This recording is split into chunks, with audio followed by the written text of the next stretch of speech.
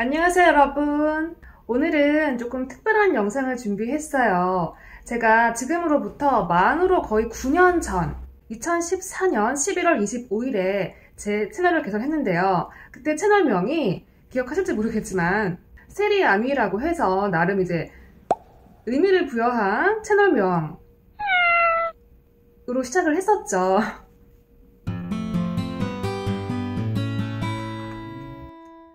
제가 그때 당시에 카메라 앞에서 이제 다양한 활동을 하면서 한참 저의 마지막 남은 젊은 에너지를 불살라서 재산을 축적하던 아주 기나긴 터널을 지나던 때였고요. 2013년부터 시작해서 2년에 한 채씩 인천에 오피스텔 세 채를 샀고요. 계속 안 쓰고 안 먹고 안 입고 정말 절약 저축만 하면서 번 모든 돈을 올 투자해서 월세 수익을 얻기 위해서 오피스텔만 매입을 했었고 사실 그 돈으로 그 호시절에 아파트를 사더라면은 정말 엄청난 수익을 거둬들였을 텐데 저는 그저 임대 수익만 얻고자 올 월세로다가 투자를 해왔어요. 그리고 2019년 지방에 작은 규모의 다가구 건물을 사면서 저는 이제 은퇴를 했고요. 그 기나긴 과정을 함께 해온 바로 제 채널.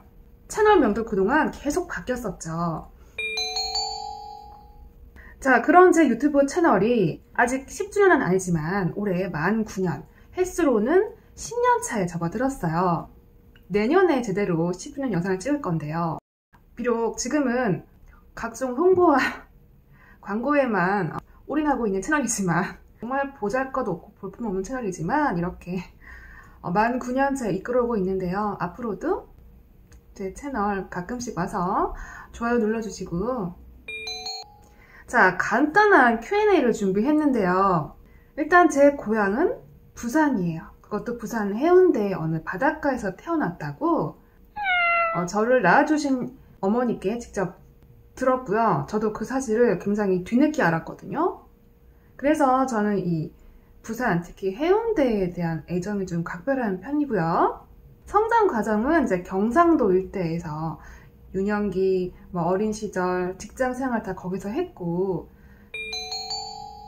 20대 후반부터 이제 서울로 상경해서 인천에 주로 거주를 오래 했고 지금은 다시 수도권 4호선 라인 근처로 이사를 와서 또 새로운 제3의 인생을 살게 되었네요. 뭐 굳이 저의 핏줄을 얘기하자면 어, 저희 법적인 father and mother는 제주도 분이시고 어, My Real Mother는 제주도 태생이긴 하지만 원래 뿌리는 함경북도 저 북한 분이시더라고요. 그래서 완전 북한 저 함경도 분이셔가지고 정말 기질이 강하시고 똑 부러지고 정말 또순이셨대요. 근데 그 기질을 어, My Real Mother께서 물려받고 그걸 제가 또 그대로 물려받아서 제가 약간 좀 또순이 기질이 있거든요.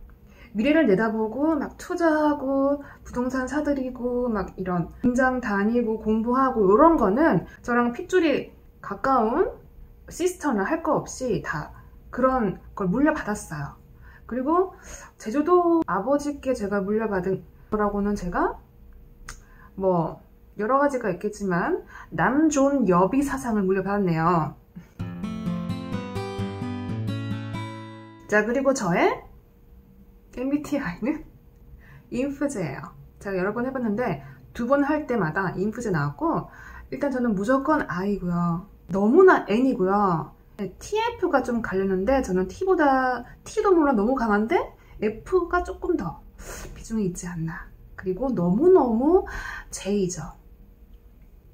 자 그리고 제가 앞으로 살고 싶은 동네를 고르라면은 저는 단연 부산 해운대 를 손 꼽고 싶어요. 왜냐면 제가 태어난 곳이라서. 근데 언젠가 살게 될지 잘은 모르겠지만 그냥 막연한 꿈이고요. 어, my real mother께서 지금 거기 거주 중이셔서 그냥 한번 해본 소리예요. 지금 제가 입고 있는 옷도 어, 친엄마께서 주신 너무 예쁜 가디건.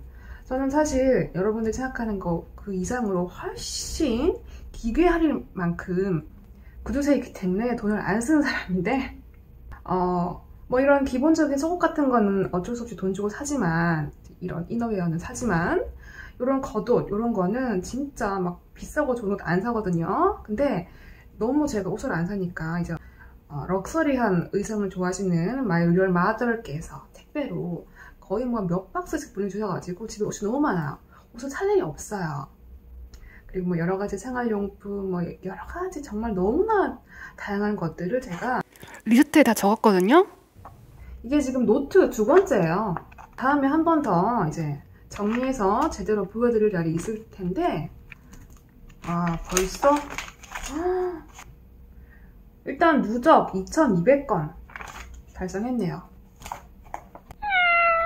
자 아무튼 여러분 저라는 사람은 부산 사람이라는 거 태생이 부산이다 그런 얘기고요. 그럼 여러분 또 봐요.